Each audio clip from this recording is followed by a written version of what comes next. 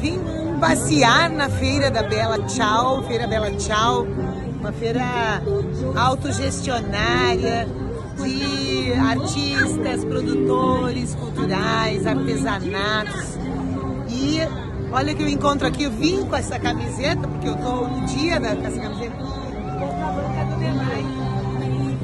porque a defesa da água pública tem a ver com a defesa de uma sociedade sustentável, de um mundo sustentável, ambientalmente uh, protetor e solidário como é essa feira Bela Tchau.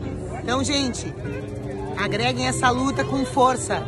Prefeito, não abrimos mão do nosso Departamento Municipal de Água e Esgotos, não abrimos mãos da, da água pública, da tarifa módica, do tratamento, separação e tratamento de esgotos de um Guaíba saneado que é isso que o DEMAI representa e a gente está nessa luta estratégica.